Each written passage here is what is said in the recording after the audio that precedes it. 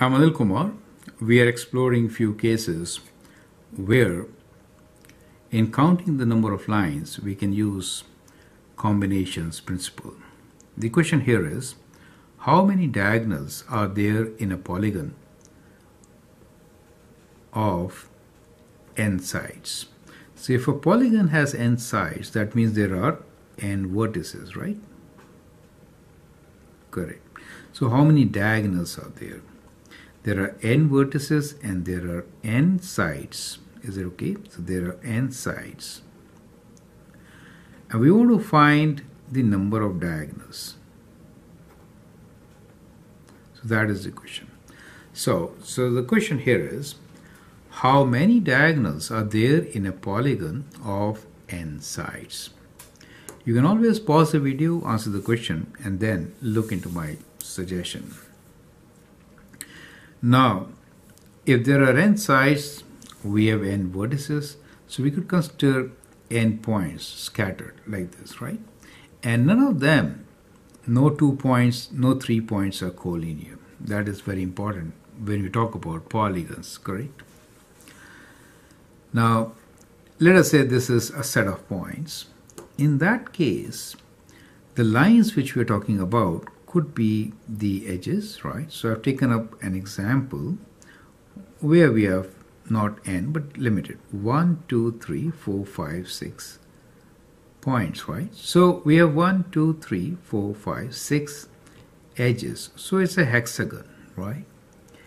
And we could also join with these lines which are called diagonals. Do you understand? So these are the diagonals we're talking about. So that is how you can make diagonals. So we want to know how many diagonals are there for n-sided polygon.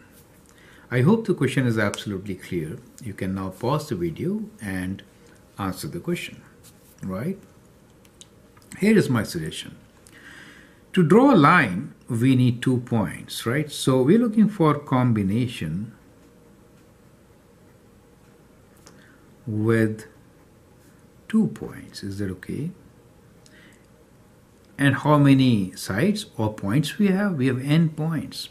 So it is nc2 is number of lines, total number of lines. nc2 is the number of lines which can be drawn with endpoints. Correct. So out of these combinations, you find how many diagonals. That is the question. So the diagonals will be total number of lines minus the edges, which are n, right? So diagonals are nc2 minus n, where n is number of sides, correct?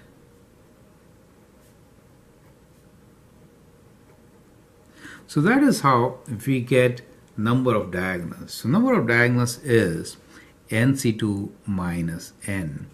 nc2, we could write this as n times n minus 1 over 2, right? Minus n. And you would simplify this. Uh, if I open the bracket, we get n squared minus n. Multiply this uh, by we get minus 2n, taking common denominator of 2. Is it okay? So that gives us n squared minus 3n divided by 2. So that becomes a general formula to find number of diagonals. You get an idea, right? So if I have a polygon with 10 sides, for example, or 10, I mean, 10 sides, in that case, n equals to 10, perfect. And the number of diagonals will be how many? Let's calculate. So number of diagonals will be 10 square minus 3 times 10 over 2, right? So we can use the calculator. 10 square is 100 and this is, let's calculate, okay? So 100 minus 30 divided by 2. So which is 70 divided by 2. So 100 minus 30 equals to divide by 2. Oh, I'm sorry. So it is 100 minus 30 divided by 2 which is 35. So we expect rather we show that there will be 35 diagonals for 10-sided figure for example correct so that is how you can derive a formula for number of diagonals given number of vertices or sides of the polygon. I'm Anil Kumar and I hope that helps. Thank you and all the best